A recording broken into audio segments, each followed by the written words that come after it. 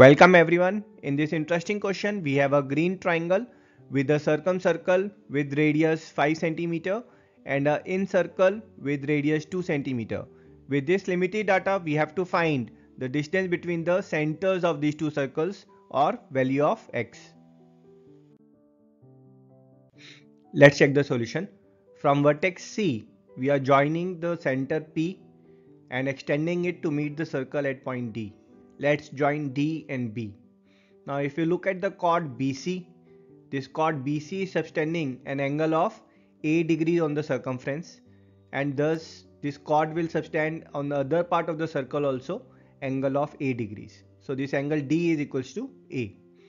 Also we know that from a point if we are drawing two tangents then the line joining that external point and the center that is this line CP it will bisect the angle contained between these tangents and thus if this full angle is C then this part of angle will be C by 2.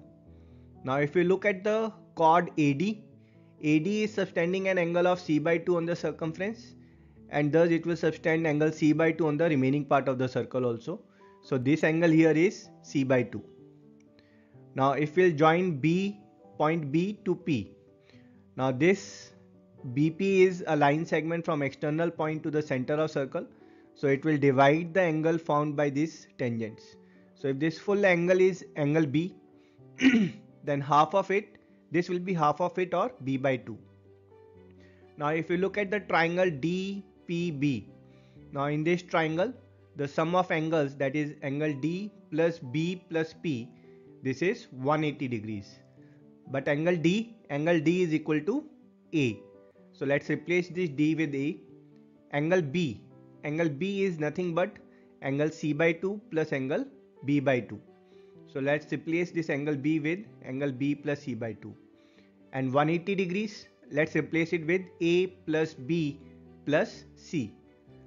Simplifying it, A will get cancelled on both the sides and we'll get angle P is angle B plus C by 2 as this angle is b plus c by 2 and this angle also is b plus c by 2 thus it's an isosceles triangle is there or we can say that the length of dp and db is equal. From point b let's draw the diameter of bigger circle and let's join d and e. From point p let's join this point of intersection here. Now if you look at the triangle DEB and triangle PFC. Now in these two triangle as BE is diameter so this angle D is 90 degrees and we know that the radius and tangent they are perpendicular so angle F is 90 degrees. If you look at the chord DB now a chord subtends equal angle on the same side of segment and thus this angle here that is this angle C so this blue angle will be equals to this angle here that's angle E. Now by angle-angle similarity we can say that these two triangles are similar to each other.